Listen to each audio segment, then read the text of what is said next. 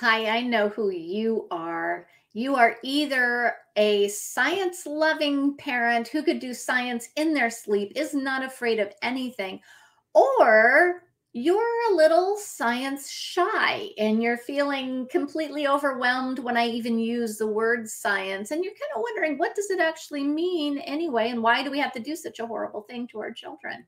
My name is Lee Binz, and I'm the home scholar. And I wanted to help you understand science and how do you teach homeschool science. I'll tell you, you can teach it the hard way or the easy way. If you love science, you can dive in with both feet. I will say, if you do have a, a science lover in your home, it can be pretty important to cover the core subjects of biology, chemistry, and physics uh, because most sciences do require a background in all of those things. Uh, but that's really if you're a, a STEM crazy parent, right? Somebody who loves science, technology, engineering, and math.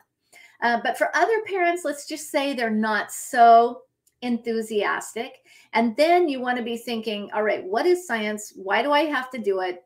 Uh, what is the process for getting it done? You can actually encourage the love of learning, even the love of science in your children, whether science is your greatest joy or the bane of your existence. So let's talk about why. why would you do this horrible thing of making your children learn science in high school? Well, part of it is it, it's a core subject that uh, colleges and careers expect you to have um, many, many careers, even those that don't require a college background, will require some rudimentary understanding of biology and uh, chemistry, the forces of nature, and that sort of thing. Um, so you want to make sure that you have the sciences that are needed for your children for graduation. Um, and I know that it can feel like science is a stumbling block for some, but you can get past that. And homeschoolers who don't know science have been successful getting science into their kids, um, just like you have. So if you are, uh, if you have a child who is not sci- science minded and you're not science minded either, then you might want to start with the easier sciences, biology and chemistry, and then branch out from there. Not all students get physics, it's actually pretty uncommon in high school. So I don't want you to feel like you have to do physics if your child is not science minded. But, you know, perfect planning in high school science means that your child has three years of high school science. And at least one of those includes a lab science. If you ask me my preference, I prefer when ninth graders start with biology. Um, before biology, your goal is really to teach your child to love science, believe it or not, love science. And often that means that you're doing things, uh, sciency things that are fun for them, um, kits in a box, that sort of thing, just to make it exciting so that the first time they see a, a, science textbook in ninth grade, they say, "Oh, oh, that looks like fun. I love science." You know, uh, fake it till you make it, baby. Right. So you start off with uh, biology in ninth grade because biology has no prerequisites. Uh, it doesn't require you to have a lot of math. You don't have to have general science or physical science, so you can just jump right in. When you get into high school sciences, though, the thing you want to always remember is your job is not to teach them something that you don't know. Your job is to facilitate their learning so that they learn it with or without your help. okay. Now, um, you then become the project manager of making sure they know it. Now, you might think, if you know me at all, you know that I'm an RN. Okay, so I'm a registered nurse, it's true. And and so I do like math and science. I, I truly love biology, to be honest, um, which is why I'm a nurse. but you might think that I was good at all sciences. And I really wasn't. I was completely in over my head with physics. I remember the first time we saw physics when my kids were in uh, middle school and they were doing middle school physics and I didn't understand any of it. I was reduced to tears, right? Everybody feels like they get in over their head at a certain point. So let me kind of explain what uh, what it looks like to facilitate. What does it look like when you're in over your head with science or math or whatever? Um, when you have a hard high school subject, these textbooks that you buy, they come with the answers. Okay. They have a solution manual, they have an answer key. So it's not like you're teaching something and you don't even know what the answer is. You have the answer key. That's why it's different than public school. You can look at, at the answers. Now, the other thing is your children can look at the answers. So as they're reading. They might read aloud, however, you've determined their learning style. You encourage them to continue that in high school. And then you do their uh, their questions, their quizzes, or whatever. They can do those orally, and you can read the answers from the answer key, or your child could uh, do the answers on their own, correct their own work, look at their own answers. And in fact, the only time uh, when I was in over my head, the only time I ever took the answer key away was when I gave them a test. so I give them a test, take the answer key away, and then I told them they their answers on their test had to look exactly like the answer key because if it didn't, I didn't know any better. It was going to get marked wrong. And uh, so those are good lessons for you to learn no matter what subject you're in over your head, whether that's, I don't know, Latin or biology or calculus. Um, you know, use the answer key to your advantage, take it away only for the tests. All right. Now, one of the biggest things that you can do to set your child up for success with science is to master the vocabulary. Uh, there's actually quite a bit of research on vocabulary and learning, and, and the research says that 80% of knowing a subject is simply knowing the vocabulary. And, I can attest that that's true. In my job as a nurse, man, it's all about memorizing these things, and um, and even my job now as an online parent educator, I think about all of the uh, unique words about online learning. And if I didn't know what a, a CPU was or a, a PDF was, then I wouldn't know my job, right? So, mastering vocabulary is an important skill for life.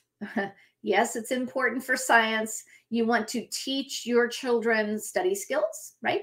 One of the major ways we teach study skills is teaching our children the importance of vocabulary. So don't hesitate when you feel like, oh, this science curriculum, it requires so much memorization you've wanted a curriculum to teach your kids study skills, and this is what it is, right? So you want to think about those vocabulary words. Uh, incorporate them into your morning meeting with your children. So each day you go over their vocabulary words for their science or whatever their more difficult subjects are. And by sheer repetition alone, if you ask them the same uh, vocabulary words and give them the same answers by the fourth or fifth day of the week, they're going to know what it is, right? So you want to grab some of those um, vocabulary lists that are provided by your curriculum and ask these vocabulary words because it can really make a big difference in not only their understanding of this science, but also their understanding of how do you get better on the job? How do you get better at any other subject? Because 80% of any subject is the vocabulary words. So let's talk for a moment about high school science labs. I know that that's something that just freaks people out all the time. Yes, generally speaking, colleges do want to see at least one lab science. I encourage you to have a lab science for each science when you can and and the reason is I believe it really solidifies the learning for each science, no matter what the topic is. When you add a little bit of hands on whatever, everything is going to make more sense, whether that's math or uh, you know doing a hands-on project for literature or or anything else having that online sort of like a manipulative right is is very helpful for them Now, you're probably wondering what a lab science is. Okay, so fortunately for us, uh, Congress has spent a gajillion dollars trying to figure it out. And the US House of Representatives Committee on Science and Technology formed a subcommittee on research and science education. And they spent gallons, gallons of your tax dollars trying to figure out what a high school science lab was. Okay. You know what they found out? They found out that they don't know because all of these schools do it completely different. And, this high school uses online labs, and this high school had only dissection, and this one had no money from microscopes, and this one did everything you could possibly imagine. They have no idea what a high school science lab is. So let me give you the, the easy synopsis in the real world of what a homeschool science lab is. Okay, you ready? It means you bought curriculum that has science material with it, and then you pretty much used it. You didn't use all of it. You used at least 50% of the labs that they told you to do. And as long as you've done that, that is going to be a, a, lab. Now, when you teach a lab science, uh, it's important for your children to understand that there's such a thing as a lab report. Okay, they write something about their lab science. Um, and I know that it's tempting to think that there are firm rules about what a lab report is, or how many you have to have, or how many labs you get overall. Uh, but that's just not the case. So let me give you what I did in my homeschool. I had for each science lab that we did, I gave my children one piece of paper and I told them they needed to write a paragraph and have a graph chart or picture of what they did. Now, I actually have normal teenagers, so I had to further define what a paragraph was. And we decided that a paragraph was three to five sentences. Tell me if you've had to do that with your children. Okay. So they had to write three to five sentences, and then they had to have a chart or drawing or graph of some kind that describe what they did. Now, most of the time, a science lab will say, draw a graph or chart of your results. So that's not a huge stretch. Um, for the for the drawings, if they did a drawing instead of a graph or a chart, I wasn't um, grading them on their ability to draw. I was kind of grading them on did they draw and does it have a general representation to uh, what they did. Now, the next thing to think about is to choose the right science curriculum. And there's one big thing I want you to understand. If you buy science curriculum that is intended for a public school, there's a higher rate of failure. And the reason for that is a public school curriculum assumes the teacher knows science and you may not know science. Even if you did know it 30 years ago. You may not know it now. Okay. So you, instead, you want to buy a, a science curriculum that is intended for homeschoolers because it assumes you don't know science. It assumes your child doesn't know science. It assumes that the answer key had better be pretty good or nobody's going to learn anything. And that's one of the reasons why I tend to recommend the science curriculum by Dr. Jay Wile.